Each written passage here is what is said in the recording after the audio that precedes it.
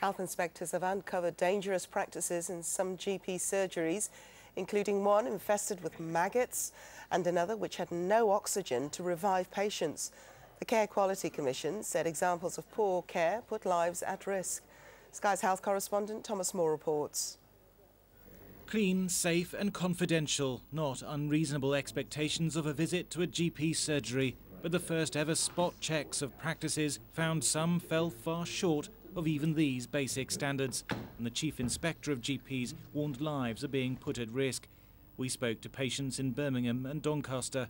It isn't what it used to be. You seem to have to push if you want something. You have to persevere. And you go with only one problem. If you've got two or three, they don't want to know. I went to see one doctor and he didn't seem that bothered, to be quite honest. I wasn't impressed by it. But that's just on the one occasion. If I went back, I, I wouldn't want to see that doctor again. Just phone, phone, phone, no appointments. I was at half eight for morning it was. It, it does make you feel uncomfortable uh, and, and, and vulnerable is the word I can find for it.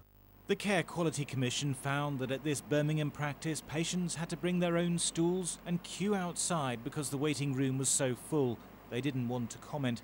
At the Northfield surgery in Doncaster, prescribing problems meant some patients were getting the wrong medicines. It said there have since been improvements in care and it now complies with CQC standards. At another surgery, live maggots were found in one of the treatment rooms. Patients um, tell us and tell each other that it's difficult to get appointments and um, that uh, access seems to be a very key thing, but also there are some fundamental standards for surgeries. We want to make sure that they're, they're clean, that the care is effective and up to date, uh, that there is safe care going on there. The CQC has so far checked 1,000 GP surgeries. Most of them had already been flagged up as a concern. 34% were failing at least one basic standard. 90 practices face follow up inspections because care was so poor. And nine were found to have such serious failings that thousands of patients were put at risk.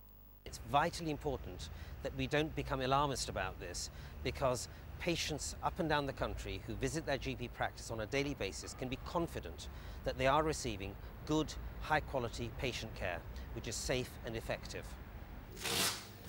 The CQC hopes to rate all GP surgeries over the next two years. Patient groups have described the findings as unbelievable. Thomas Moore, Sky News. Claims about life